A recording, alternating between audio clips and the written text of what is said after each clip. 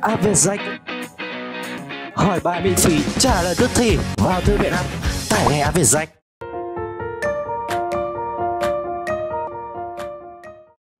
Xin chào các con, chào mừng các con quay trở lại với video giải bài tập sách giáo khoa lớp tiếng Anh lớp 9 của Viettrack. Hôm nay chúng mình sẽ tiếp tục với Unit 3 A Closer Look 2. Và trong phần A Closer Look 2 hôm nay của chúng mình, chúng mình sẽ học, chúng mình sẽ xem lại về phần uh, Reported Speech, có nghĩa là câu gián tiếp. Chúng mình sẽ cùng đến với bài tập số 1 ở trong phần này nhé. Bài tập số 1 yêu cầu chúng mình read the conversation in Getting Started again. Đọc lại đoạn hội thoại ở trong phần Getting Started một lần nữa. Underline the reported speech, gạch chân dưới những câu gián tiếp. Then re- rewrite in directed speech what Mai said to her brother Phúc and to her parents và viết lại những câu này thành câu trực tiếp à, và viết lại những câu này thành câu trực tiếp và những cái câu này là những cái câu mà Mai sẽ nói trực tiếp với uh, em trai của cô ấy là Phúc và tới bố mẹ của cô ấy. Then rewrite, rewrite in direct speech what Mai said to her brother Phúc, uh, Phúc and to her parents. Vậy nhiệm vụ của chúng mình bây giờ là quay trở lại phần Getting Started để tìm những câu gián tiếp mà Mai đã nói, sau đó chuyển lại chúng thành câu trực tiếp. Ở đây người ta đã ghi sẵn cả ba câu rồi. Ở đây người ta đã gợi ý sẵn cả ba câu rồi. Bây giờ chúng mình cùng quay lại phần Getting Started nhé.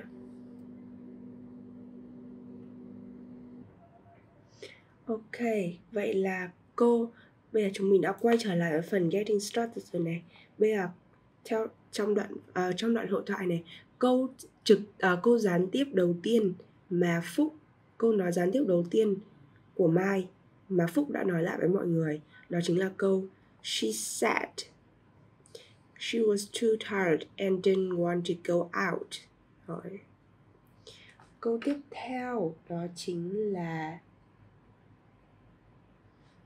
câu tiếp theo đó chính là She told me she wanted to be a designer. Đây là Emily đã nói lại lời mà Mai đã nói với cô ấy. She told me she wanted to be a designer.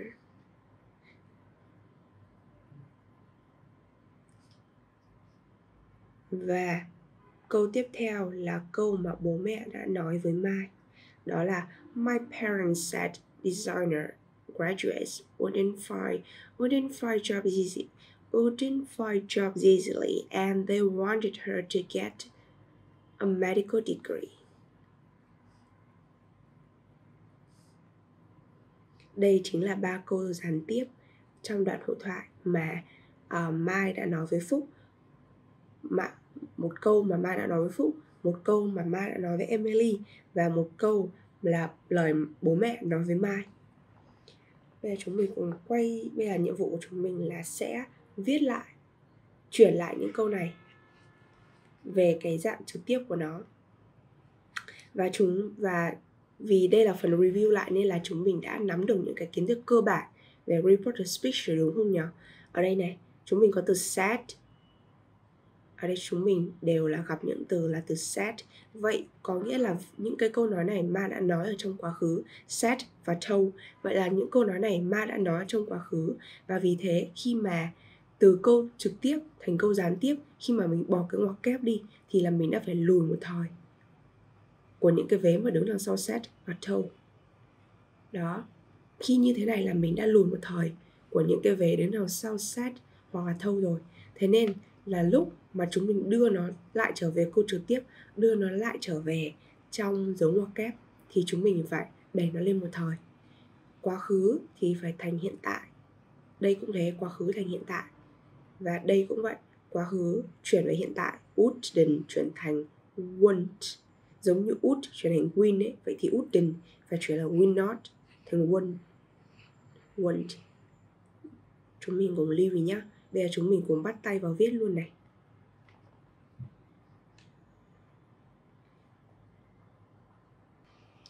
Câu đầu tiên của chúng mình này sẽ viết được lại thành là, câu đầu tiên như ở đây là lời mà Mai đã nói với lại Phúc thì chúng mình sẽ ghi lại như sau. Mai, hai chấm này, lời của Mai mà, Mai hai chấm. I'm too tired. She lúc này thì là để chỉ she ở đây là để chỉ mai mà. Nhưng ở đây đã chuyển thành câu trực tiếp rồi. Thế nên là she không còn gọi là she nữa, mà mai sẽ tự dưng là tôi. Was chuyển thành am.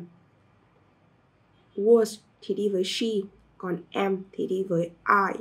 I'm too tired phần này vẫn giống nhau, chỉ biến đổi phần she was thành I am, hoặc viết tắt là am I'm too tired and, rồi, didn't chuyển thành don't, tiến lên một thời mà.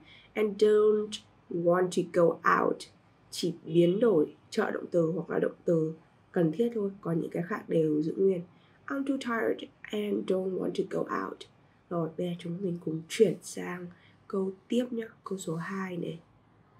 She told me she wanted to be a designer. Rồi mình sẽ viết lại thành như sau.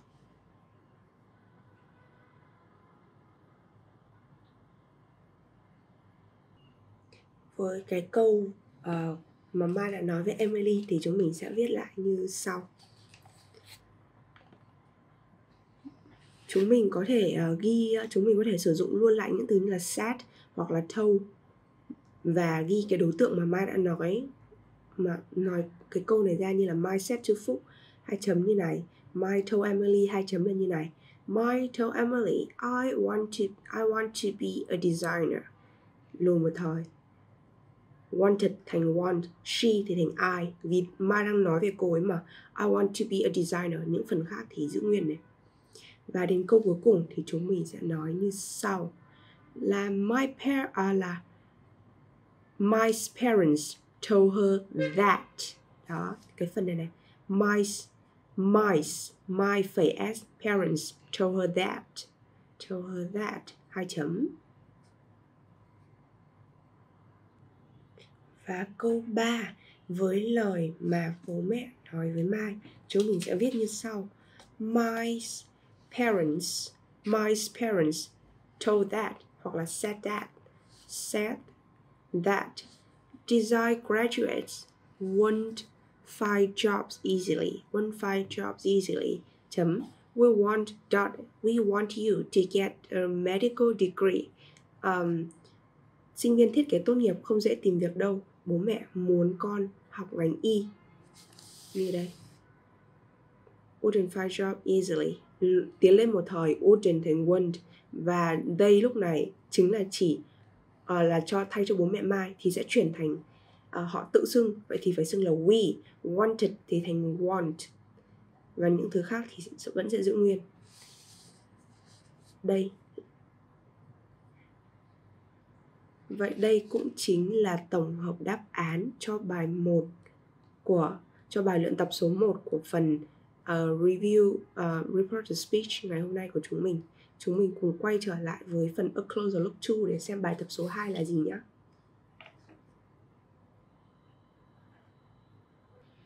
Bài tập số 2 Bài tập số 2 yêu cầu chúng mình viết lại những câu sau thành câu gián tiếp. Ở bài bên trên này thì là mình viết từ câu gián tiếp thành câu trực tiếp, còn ở đây chúng mình lại luyện tập viết câu trực tiếp thành câu gián tiếp như bình thường. Chúng mình cùng bắt tay vào làm bài luôn nhé câu số 1 này, we will visit you this week. My parents told me. Mình, vậy là mình sẽ viết lại câu này như sau. My parents told me that they would visit me that week.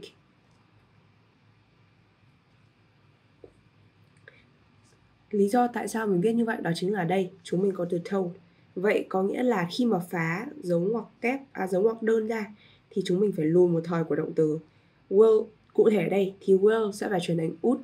Và theo cái quy tắc của câu gián tiếp thì this phải chuyển thành that đúng không nào? Còn ở đây you còn ở đây we này này lúc này đã thành câu gián tiếp rồi mà. Thì we uh, câu gián tiếp qua lời tưởng thuật của tôi vậy thì we ở đây phải chuyển thành they. Bố mẹ nói với tôi rằng họ còn you lúc này thì sẽ phải chuyển thành me bố mẹ bảo với tôi rằng họ sẽ lên thăm tôi vào tuần đó. My parents told me we will visit you next week uh, this week. Đó mình phải từ câu trực tiếp thành câu gián tiếp thì mình phải chú ý cả động từ này xong cả tân ngữ chủ ngữ các thứ và những cái từ phụ khác. Đó. Và bây giờ câu 1 Đáp án cho câu 1 chúng mình sẽ viết như sau. My parents told me that Có that uh, Có that hay không có that đều được nhá My parents told me that They would visit me that week Rồi Bây giờ chúng mình cùng chuyển sang câu số 2 này Câu số 2 Our teacher asked us Giáo viên hỏi chúng tôi rằng What are you most most worried about? Điều mà các con lo lắng nhất là gì? Điều gì mà làm các con lo lắng nhất? Câu ask này, đây, quá khứ. Vậy thì ở trong đây lại trong cái vế ở trong dấu ngoặc đơn này mình lại lùng một thời. Our teacher asked us asked asked asked us what we you lúc này là chỉ những cái người được hỏi này này. What we were were bốn chữ các con nhau what we were most worried about đó, và câu, và cái câu này, lúc lúc này nó không còn là câu, lúc này được chuyển thành câu gián tiếp rồi thì sẽ không còn là câu hỏi nữa các con nhé không còn cấu trúc của một câu hỏi nữa. Thế nên là các con có giữ nguyên what này, nhưng mà các vị thứ tự ở trong câu này sẽ được đào. You lại lên đây này, động từ to be ra sau này, và phần này thì vẫn giữ nguyên. Cụ thể thì chúng mình sẽ viết lại như sau.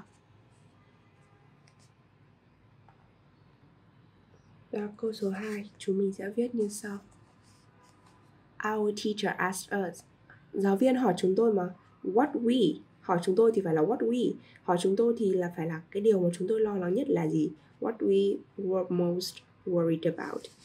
Đến câu số 3 này, I'm so delighted. I have just received a surprise birthday present from my sister. Phương told me.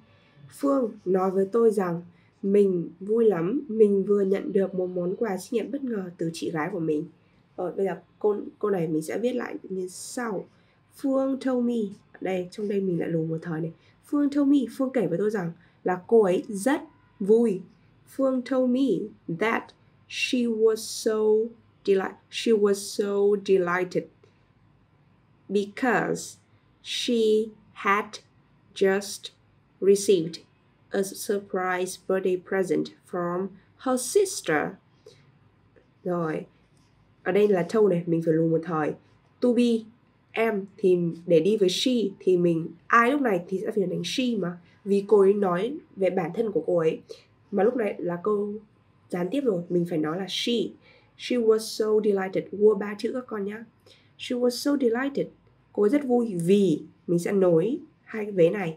Đây là hai vế có quan hệ nhân quả mà. Nên là mình sẽ dùng because, uh, because hoặc là as hoặc là since tùy các con nhé. Uh, ờ, uh, ờ, because she, được chưa? I, she này, have just received. Ở đây là hiện tại hoàn thành. Nhưng ở đây là mình là told. Mình phải lùi một thời. Vậy hiện tại hoàn thành lùi một thời thì thành quá khứ hoàn thành. Have chuyển thành had had cộng phân từ hai. She had just received a surprise, birth, a surprise birthday present, một cái món quà sinh nhật bất ngờ from her sister. Mà lúc này chuyển thành her vì chị của tôi thì bây giờ phải thành chị của cô ấy. Cụ thể, câu số 3 này chúng mình sẽ viết lại như sau. Đây chính là đáp án cho câu số 3 nào. Phương told me đó ở đây mình có ba liên từ ba từ nối có thể được sử dụng để biểu để nối hai vế có quan hệ nhân quả because as hoặc là since hoặc là for một trong bốn đều được các con nhé Rồi bây giờ chúng mình cùng chuyển sang câu số 4 này. Câu số 4 Kate can keep calm even when she has lots of pressure, Tom said. Tom nói rằng Kate có thể giữ bình tĩnh cho dù cô ấy đang có rất là nhiều áp lực vậy câu này mình sẽ rất là nói rất là đơn giản như sau lại lùi một thời này Tom said Katie could can cho thành could. Tom said Kate Kate could keep calm even when she tại vì ở đây Kate đang nói về Kate mà she này là chỉ Kate và không có gì thay đổi cả. Mình chỉ biến thành từ trực tiếp đến gián tiếp và lúc này thì she này không cần có gì thay đổi cả vì nó vẫn chỉ Kate. Even when she has a trở thành had hiện tại đơn thành quá khứ đơn. Even when she had dot, she had lots of pressure đó câu này viết lại, lại rất là đơn giản cụ thể về cô sẽ viết lại cách viết cụ thể của nó như sau đáp án cho câu 4 sẽ là như sau Tom said that Kate could keep calm even when she had a lot she had a- she had she had lots of pressure. Câu số 5 nào. I've I got a very high score in my last test, Mom, she said. Uh, mẹ uh, mẹ ơi con được điểm rất cao trong bài kiểm tra vừa rồi cô ấy nói. Vậy đây là lời mà cô ấy nói với mẹ của mình. Vậy thì chúng mình sẽ viết lại như sau. She said to her mom that she said to her mom that got này ở đây là quá khứ đơn. Và ở ngoài đây là said rồi. Đây đã là said rồi. Và nghĩa là trong ngoặc này mình đã phải lùi một thời nhưng ở đây đã là quá khứ đơn. Vậy thì quá khứ đơn lùi đi một thời cũng là quá khứ hoàn thành. Vậy mình sẽ ghi lại là she said to her mom that ai lúc này phải trở thành she. Cô ấy nói về bản thân mình mà. She said to her mom that she had got a very high score in her last test. My thì đi với ai? Vậy nếu như trở thành she vậy thì phải đi với her. She said to her mom that she got a very high score in her last test.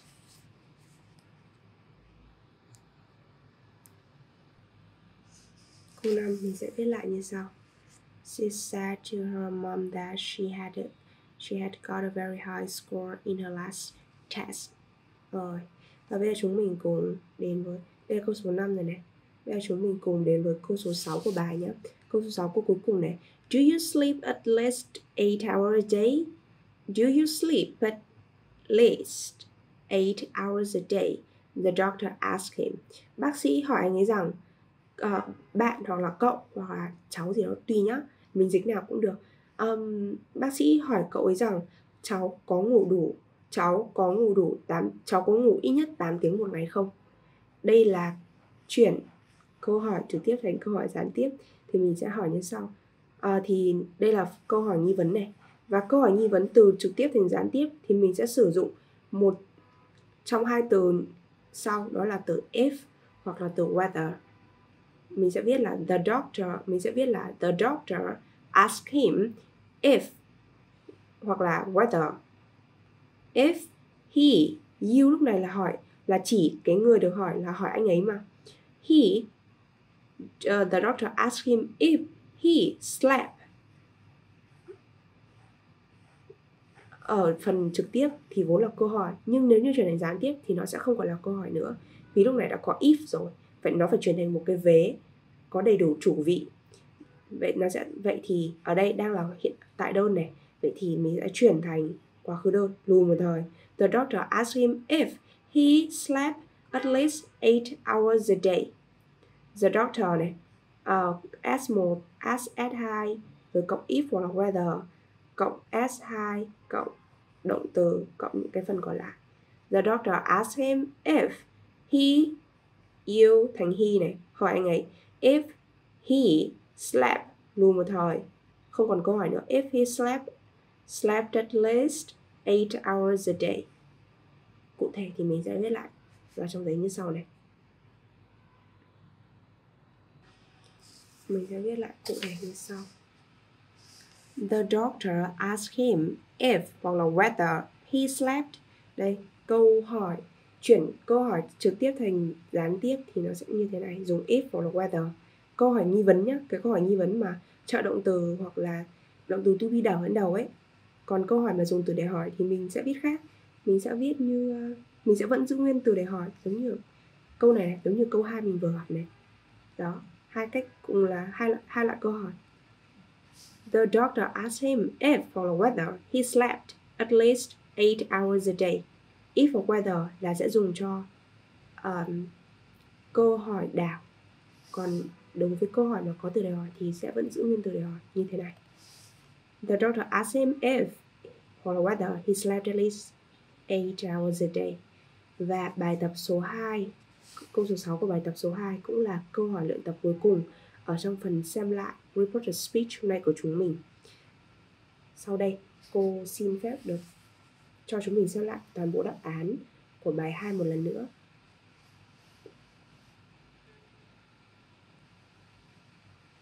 Chúng mình hãy cùng ghi lại thật nhanh đáp án hoặc là nếu như chúng mình đã kịp làm rồi thì chúng mình hãy cùng đối chiếu lại nhé. Rồi, và sau đây cô xin phép được mời chúng mình chuyển sang phần kiến thức thứ hai ở trong A Closer Look 2 hôm nay của chúng mình đó là phần kiến thức về question words before two infinitives có nghĩa là từ đề hỏi cộng với to verb. Từ đề hỏi, question words cộng với to verb. Từ đề hỏi đứng trước, to verb. Đây, ở đây chúng mình có ba phần lưu ý. Từ trong của sách giáo khoa, chúng mình cùng đi lần lượt từng phần một nhé. Lưu ý thứ nhất này, người ta nói là we can use question words, như là chúng ta có thể sử dụng những từ để hỏi như là who, what where when và how. How how âm out how trước một tu verb.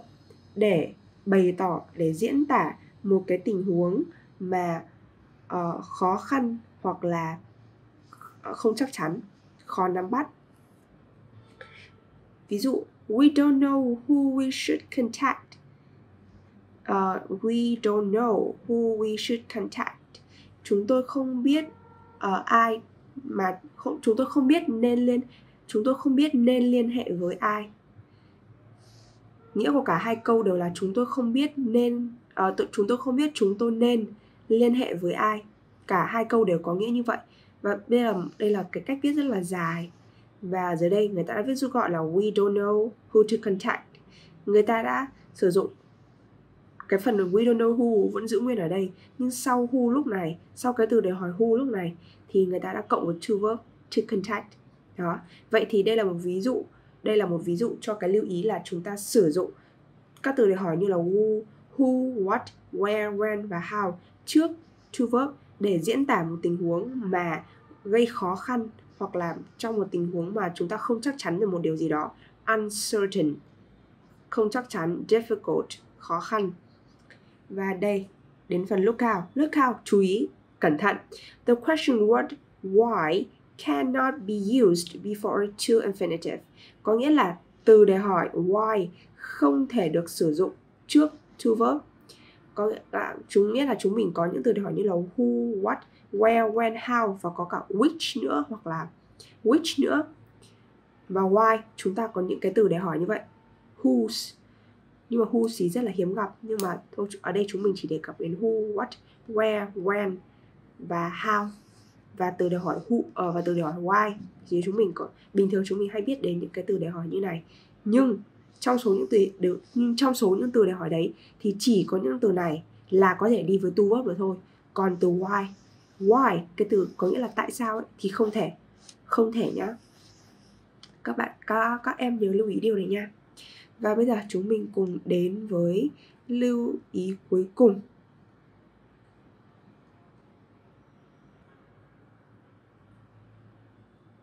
Và bây giờ chúng mình cùng đến với lưu ý cuối cùng này.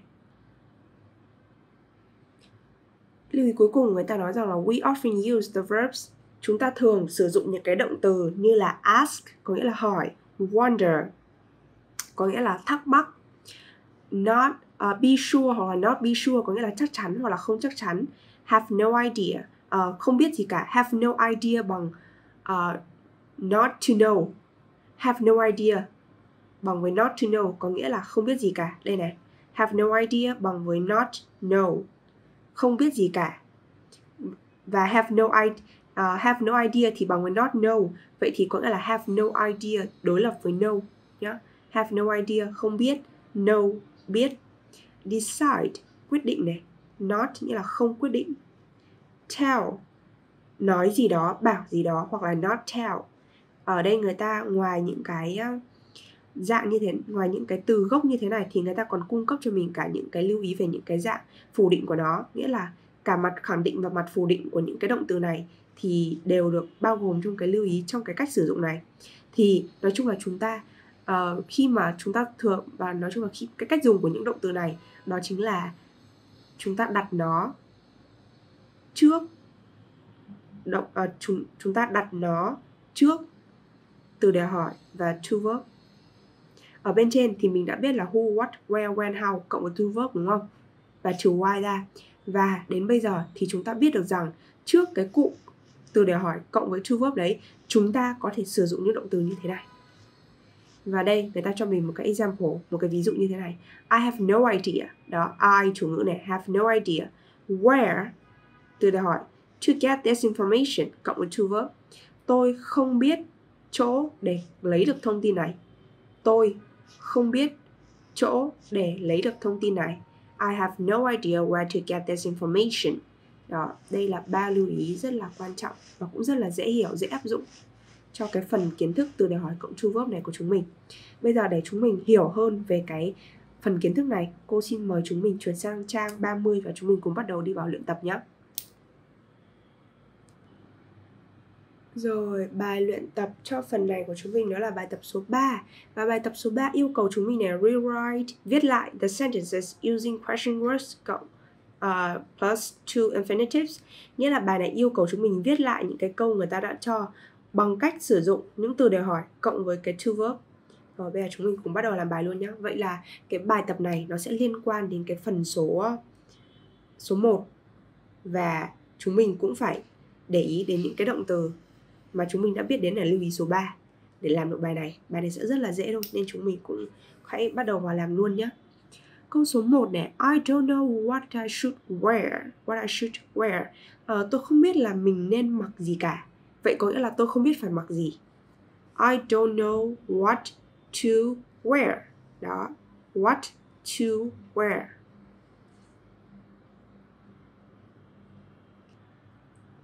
Đây, đã, mình sẽ viết như I don't know what giữ nguyên này to wear cộng với to verb.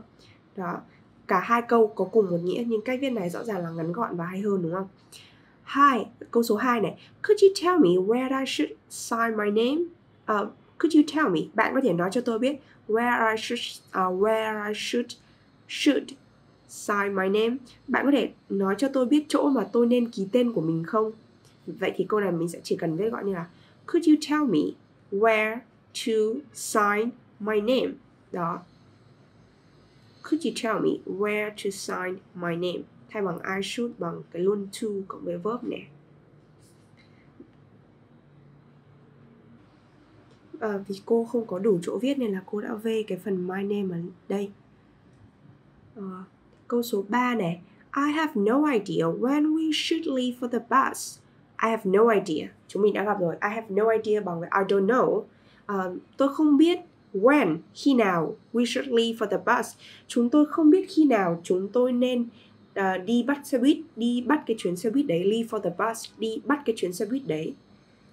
Đó cái vậy nghĩa là uh, chúng ta cũng có thể nhớ đến một cái cụm một cái động từ nữa mà đi với từ the bus. Và cũng mang cái nghĩa là bắt xe buýt đó chính là catch the bus. Và uh, không liên quan nhưng mà cô nghĩ câu này có thể được viết lại bằng cách là I don't know when to uh, when we should catch the bus. Đó à nhưng bây giờ chúng mình sẽ quay trở lại cái phần bài chính của chúng mình nhá. Câu này rất là dễ thôi. I have no idea này với when cộng với từ để hỏi này xong cộng với to verb. Vậy nên là phần này của chúng mình sẽ được giữ nguyên này. I have no idea when to leave for the bus. Đó rất là dễ thôi.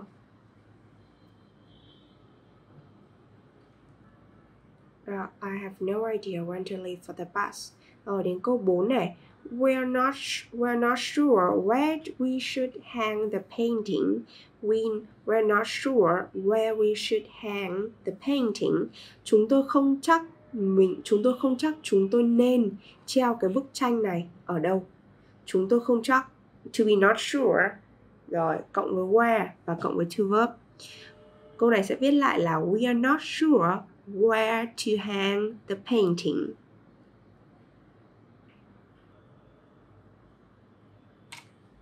Câu 4 này We are not sure where to hang the painting. Oh, Rồi đến câu số 5 này, He wondered how he could tell this news to his parents. Anh ấy phân vân không biết. Anh ấy phân vân không biết mình nên nói tin tức này với bố mẹ như thế nào. Anh ấy phân vân không biết mình nên nói cái tin tức này với bố mẹ như thế nào wonder này wonder lúc này câu lúc này đang ở thời quá khứ đơn này nhưng mà cũng không ảnh hưởng gì đến cái chức năng của nó cả he wonder how to tell this news to his parents và chúng mình cũng sẽ làm luôn câu số 6 này. Câu số 6 decide, quyết định này. They can't decide who should go first. They can't decide who could, he oh, sorry, who should go who should go first. Họ không thể quyết định được ai sẽ đi trước.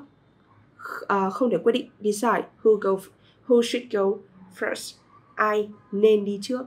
Và thì câu này chúng mình sẽ viết lại là they can't decide who to go first. Đó. Và đây là đáp án cụ thể của câu 5 và câu 6 cho chúng mình.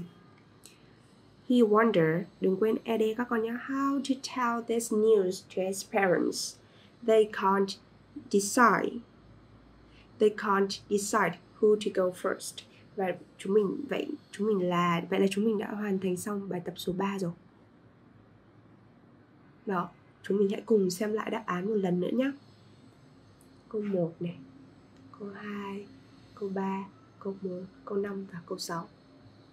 Bài tập này thì chúng mình chỉ cần áp dụng đúng những gì lưu ý đã ghi và chúng mình cũng xem lại cái ví dụ người ta đã cho là sẽ làm được thôi. Và để tiếp tục phần à, và để tiếp tục phần kiến thức của chúng mình, chúng mình sẽ chuyển sang một cái phần mới nhưng mà cũng liên quan đến kiến thức về uh, liên quan đến hai hai mảng kiến thức vừa học là reported speech và question word cộng to verb nhé. Đó là phần kiến thức về reported questions, câu hỏi gián tiếp với từ đề hỏi cộng với to verb. Reported questions with question words before to infinitive. Câu hỏi gián tiếp cùng với đi với từ đề hỏi cộng với to verb này. Và người ta cũng cho mình luôn một cái lưu ý. Đóng được đóng dấu vàng này. Question words những từ đề hỏi. Before two infinitives từ đề hỏi cộng với to verb can be used bị động này có thể được sử dụng. To report questions để báo cáo để um, đưa ra câu hỏi. Chúng ta có thể sử dụng từ đề hỏi cộng với to verb để đưa ra các câu hỏi về một điều gì đó mà đã được làm mà nên được làm. About something that should be done. Đó. Từ đề hỏi cộng to verb được dùng để đưa ra câu hỏi về một vấn đề gì đó về một điều gì đó mà nên được làm. Đây ở đây người ta cho mình ví dụ này. Example. Ví dụ what should I do? She, uh, she said tôi nên làm gì đây? Tôi nên làm gì đây? Cô ấy hỏi. Và chúng mình có thể viết lại là she wonder what to do cô ấy phân vân không biết nên làm gì. Đó nghĩa của cả hai câu vẫn như thế nhưng cách viết cách dùng từ thì lại hoàn toàn khác nhau. Chủ động à nhầm à, trực tiếp này gián tiếp. Đây là một cách viết khác của gián tiếp cũng rất là hay. À, động từ đi với từ để hỏi cộng to verb. What should I do? She said. She wondered what to do. Hỏi mà thế là phân vân không biết phải làm gì. What to do? Đây nó vẫn thế mình thay từ sad bằng wonder. Và cái phần what should I do này thì được biến đổi thành what to do. Đó. ngoài ra, người ta cũng lại cho mình thêm một cái lưu ý nữa. Look out. Đây. Look out đây cẩn thận. I'll to report yes, no questions. Để đưa ra những cái câu hỏi, nghi vấn. Yes, no questions là câu hỏi đảo, câu hỏi đảo để đưa ra câu hỏi đảo we use whether chúng ta sử dụng từ whether từ whether, từ whether này lúc nãy cô cũng đã uh, nhắc đến với các con ở trong bài luyện tập về reported speech. Các con còn nhớ không nhỉ? Để đưa ra các để đưa ra để report cái câu hỏi nghi vấn. Yes no question. Chúng ta sử dụng từ whether trước to verb. Nghĩa là chúng mình trong những cái dạng câu hỏi yes no question này chúng mình sẽ sử dụng cái dạng là whether cộng với to verb remember nhớ rằng if cannot be used in this case. Và bạn phải nhớ rằng if không được sử dụng trong trường hợp này. Như ở cái câu như trong một câu uh, uh, nếu như mà chúng ta chỉ cần biến đổi cái câu hỏi đảo thông thường thì dùng whether hoặc là if trước cái câu trước cái vế câu hỏi đấy đều được. Nhưng bây giờ trong cái trường hợp này khi chúng ta sử dụng to verb này thì chúng ta có thể chỉ có thể để nó đi với whether thôi. Whether cộng với to verb không được để if các con nhé. Và người ta cũng cho chúng mình luôn một ví dụ này. Example. Should I tell my parents what I what I really think? She wonder, um, cô ấy phân vân. Um, không mình có nên nói với bố mẹ những gì mà mình thực sự nghĩ không? Should I tell my parents what I really think? Và đây người ta đã viết lại này. Người ta vẫn sử dụng cái she wonder. Nhưng ở đây đây là câu hỏi đảo này. Người ở trong đây người ta thì đảo ở trong đây người ta đảo cái động từ khuyết thiếu lên đầu. Nhưng mà câu hỏi đảo thì có thể đảo khuyết thiếu, động từ khuyết thiếu lên đầu là một này, đảo động từ to be lên đầu là hai, hoặc chúng mình hay gặp nhất là đảo động từ thừa. Đó, biến đổi tùy thích các con nhé nhưng mà trong một, nhưng mà nói chung câu hỏi mà không bắt đầu bằng từ đề hỏi thì chính là câu hỏi đảo. Đó. Và đây cô viết lại là she wonder whether này. She wonder whether cộng với two verb she wonder whether to tell her parents đây, my parents, bố mẹ của cái người nói. My lúc này thành her này, vì chủ ngữ là she rồi mà. She wondered whether to tell her parents what she really thought ai cũng phải chuyển thành she, vì đang chỉ người nói rồi mà. Và ở đây ở đây là wonder, quá khứ rồi, thì ở đây, trong ngoặc, khi mà phá ra thì phải lùi một thời. Thành, think think trở thành thought đó she wondered whether to tell her parents what she really thought. Ờ, Đó và đây là hai lưu ý rất quan trọng để chúng mình có thể học thêm một cái cách viết một cái cách chuyển câu trực à, một cách chuyển câu từ trực tiếp sang gián tiếp mới. À, và để luyện tập kỹ hơn về cái phần này cô xin phép mời chúng mình chuyển sang bài tập số 4 chuyển sang bài tập số 4 bài tập số 4 thì người ta lại yêu cầu mình rewrite the following questions in reported speech. Và người ta lại yêu cầu mình là viết lại câu ở cái dạng gián tiếp using question words before two infinitives sử dụng từ đề hỏi cộng với two verb. Viết lại uh, viết chuyển câu chuyển thành câu hỏi gián tiếp và chuyển thành câu hỏi gián tiếp và cũng sử dụng từ đề hỏi cộng two verb. Và người ta cho mình một cái tip một cái uh, mẹo nhỏ you may use the following verbs. Nghĩa là bạn có thể sử dụng những cái động từ sau. Ask, wonder, not sure, not be sure, have no idea no not know, decide, not decide, tell hoặc là not tell. Ý ở đây là, not ở đây là đại diện cho dạng, cái dạng phủ định. Còn đây là dạng nguyên gốc, dạng khẳng định. Thôi bây giờ chúng mình cũng bắt đầu vào làm bài luôn các con nhé. Câu số 1 này, How should we use this support service? They wonder Họ phân họ phân vân không biết Này, How should we use this support service? Chúng ta nên sử dụng cái dịch vụ hỗ trợ này như thế nào? Và đây là một câu hỏi thông thường thôi đây là một, đây không phải là câu hỏi đáp, đây là câu hỏi với từ hỏi vậy theo như cái lưu ý này, chúng mình sẽ viết là they wonder how to use this. Oh this lúc này chúng mình nên chuyển thành that nhỉ? They wonder how to use that support service. Ở đây chúng mình vẫn đang chuyển từ trực tiếp sang gián tiếp.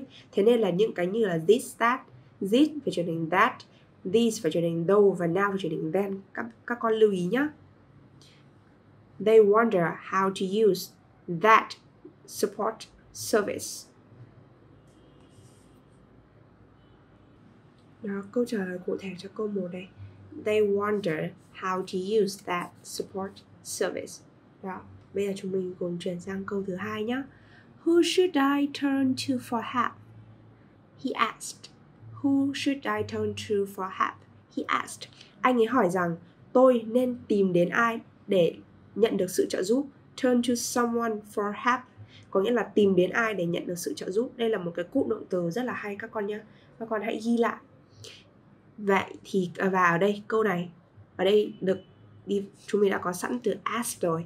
Vậy bây giờ chúng mình sẽ và đây là câu hỏi với từ đề hỏi này, who này.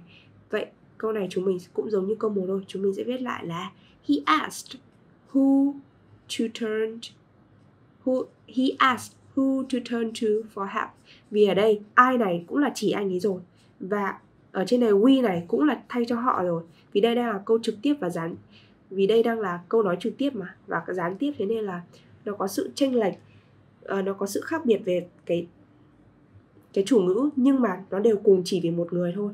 Nên là chúng mình mới có thể viết được như thế này. Và đây thì là he asked who to turn to for help. Ai này thì cũng là anh ấy tự nói anh ấy tự xưng về mình mà. He asked who to turn to for help và đây là câu trả lời cụ thể cho câu số 2 của chúng mình này he asked who to turn to for help và đến câu số 3 Mom, when should I turn off the oven? Mom, when should I turn off the oven? my asked her mother. Mai hỏi mẹ cô ấy, mẹ ơi, khi nào thì con nên tắt bếp? Đó, vậy thì câu này mình sẽ viết lại như sau. my asked her, her mother. Bình thường ask cũng có thể đi với tân ngữ mà. Ở đây thì là my asked her mother when to turn off the oven. Mai hỏi mẹ cô ấy khi nào thì tắt bếp. Đó, câu nó vẫn giống nhau đúng không các con? Nhưng cách viết thì nó đã ngắn gọn và hay hơn nhiều. Đây, câu trả lời cụ thể cho câu số 3 đây. my asked her mother, asked này, when to turn off the oven. Từ để hỏi cộng với to verb. Đây chúng mình cùng đến với câu số 5 này. Should we call her now? He asked. Chúng bây giờ à, anh ấy hỏi rằng chúng ta có nên gọi cho cô ấy vào lúc này không? Chúng ta có nên gọi cho cô ấy vào lúc này không? Đây là câu hỏi đảo rồi. Và ở đây chúng mình sẽ phải sử dụng từ whether rồi các bạn ạ. He, uh, và câu này chúng mình sẽ viết lại như sau. Um, ask này cộng với whether cộng với to verb. Và đây now này thì phải chuyển thành then. Trừ, từ trực tiếp sang gián tiếp now chuyển thành then. He asked whether to call her then. Her ở đây chúng mình không biết là ai nên chúng mình sẽ giữ nguyên này. Còn we thì đã should we thì đã không cần nữa rồi. Giống như các trường hợp should we ở bên trên ạ chúng mình không cần nữa. Chúng mình thẳng luôn là whether cộng với to verb luôn. He asked whether to call her then. Đó.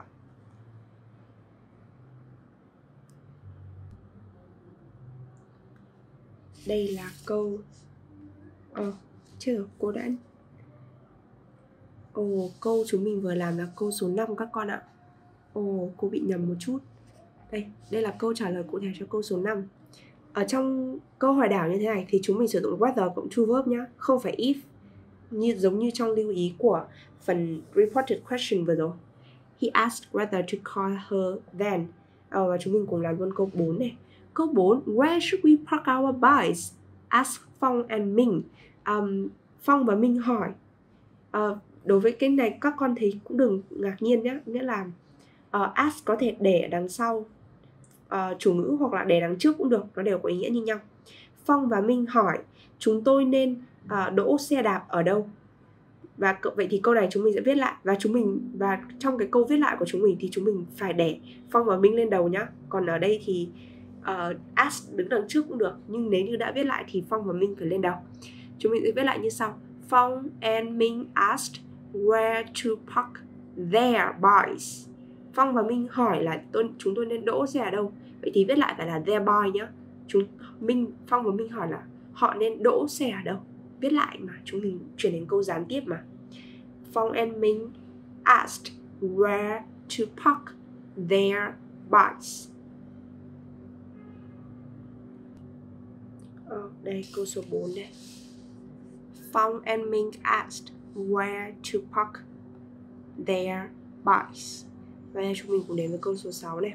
Câu số 6, what should we do to make Ling feel happier? They wonder. Họ thắc mắc. What should we do? Chúng ta nên làm gì để giúp Linh thấy vui hơn? Make Linh feel ha- feel happier. Make someone happy hoặc là make someone feel happy. Đó, làm cho anh thấy vui. Vậy thì câu này chúng mình sẽ viết lại là they wonder. We này là đã chỉ dây rồi thế nên là chúng mình sẽ viết đẩy lên luôn what này. They wonder what wonder cộng từ để hỏi. They wonder what to do. They wonder what to do to make to make Ling feel happier. They wonder what to do to make Ling feel happier à, ở đây cái động từ chính của chúng mình là do nhá. Thế nên là phải là what to do chứ không phải là what to make. What to make. Được các con ạ. Nếu như mà mình viết luôn thành what to make Linh feel happier thì nghĩa của câu nó sẽ hơi thay đổi một chút đấy.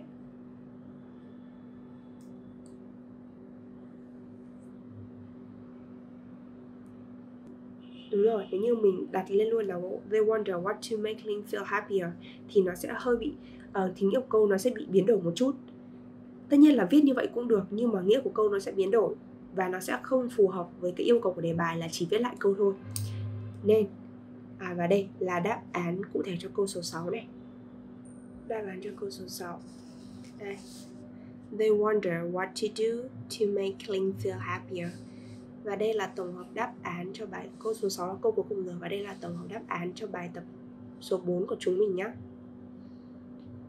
các con hãy cùng xem và đối chiếu lại với đáp án của mình. Và ghi lại những từ mới hoặc là um, đọc tập đọc lại câu nếu như các con thấy cần thiết. Và trong này chúng ta có một cụ từ rất là hay đó là cụ uh, turn to someone for help ở đây cái someone nó là thay bằng who rồi nên là nó sẽ không có cái gì chèn ở đấy cả. Nhưng mà cái cụm đầy đủ của nó là turn to someone for help có nghĩa là tìm đến ai để có được sự giúp đỡ. Đây là một cụm rất là hay. Rồi và sau đây cô mời chúng mình chuyển sang phần số 5 Đó chính là phần game, trò chơi. Và trò chơi của chúng mình hôm nay tên là Something about our teacher. Something about our teacher Nó giống như một dạng câu hỏi ấy. Giáo viên của chúng ta có có những cái những cái điều gì nhỉ?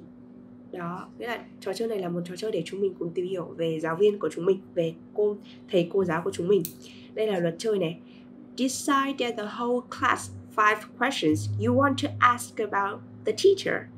À, cả lớp quyết định 5 câu hỏi. Cả lớp quyết định 5 câu hỏi mà các con muốn hỏi về giáo viên của mình. Then the class divides into two groups và rồi lớp chia ra thành và rồi lớp chia ra thành hai nhóm. Một nhóm vẫn ở bên trong lớp, one group stays inside the class. Một nhóm vẫn ở trong lớp. Và nhóm còn lại thì đi ra ngoài. And the other goes outside. Một nhóm trong lớp, một nhóm ra ngoài. Cả lớp chia đôi ra. Và the teacher will tell each group the answers to the questions. Và rồi giáo viên. Và sau khi đã quyết định xong 5 câu hỏi này, mỗi nhóm đều biết được, hai nhóm đều biết được năm cái câu hỏi đấy. Sau đó giáo viên sẽ nói đáp án cho những câu, đáp án của những câu hỏi đó với từng đội, với từng nhóm each group. Tell each group, the answers to the question. The class, sau khi mà giáo viên nói ra, và sau khi giáo viên nói ra những cái đáp án cho những câu hỏi đó với từng đội, với từng nhóm, cả lớp sẽ tập hợp lại với nhau. The class gets together again. Cả lớp tập hợp lại với nhau này. And in pairs. Và theo cặp you must report on what the teacher has told you. Và các và theo cặp thì các con sẽ uh, và theo cặp thì các con sẽ thông báo cho nhau các con sẽ báo với nhau những gì mà và những gì mà cô hoặc là thầy giáo đã nói với con. À đây là cái phần luật chơi. Có thể uh, đó decide này rồi uh, quyết định năm câu hỏi này chia làm hai nhóm này. Sau đó cô giáo sẽ nói câu trả lời này sau đó cả lớp tập hợp lại này và bây giờ chúng mình làm việc theo nhóm à chúng à, chúng mình làm việc theo cặp để thảo luận để nói với nhau cái những cái câu trả lời mà cô giáo đã bảo với các con. Và ở dưới đây thì chúng mình có phần minh họa cho những câu hỏi của trò chơi này. Ví dụ các con có ba câu hỏi ở đây. Câu hỏi thứ nhất là do you have a pet? Cô có um, cô có cô hoặc là thầy có thú cưng không? If so what is what is it? Nếu như có thì nó là con gì và tên của nó là gì? What's its names? Đó. Và đây là hai thành viên. Hai thành viên đến từ hai nhóm khác nhau. Bạn ở bên đội này thì nói là giáo viên nói rằng à, cô ấy có một chú chó à, cô ấy có một chú chó tên là to be ở nhà. Đó. Còn như ở đây thành viên ở đội khác thì lại bảo là không giáo viên nói rằng cô ấy có một con cô ấy có một con mèo tên là to be ở nhà. Đó, nhóm thì nói là chó nhóm thì nói là mèo và chúng mình thảo luận trao đổi với nhau về những thông tin chúng mình có được về thầy cô giáo của mình cô mong là lớp thầy các thầy cô giáo của các con sẽ tổ chức trò chơi này cho các con để các con cũng có thể hiểu hơn về thầy cô giáo của mình và thầy cô giáo cũng sẽ có cơ hội được hiểu hơn về các con nhé. Và phần 5, phần số 5 phần trò chơi này cũng là phần cuối cùng trong A Close the Loop 2 hôm nay của chúng mình. À, cô hy vọng rằng các con đã có một khoảng thời gian học tập bổ ích. Hẹn gặp lại các con trong những video lần sau. Nếu như các con có thắc mắc gì thì hãy comment ở bên dưới cho cô biết nhé. Chào tạm biệt các con. Khóa học về rách sự lựa chọn của hàng triệu phụ huynh và học sinh. Trải nghiệm ngay khóa học của Vietjet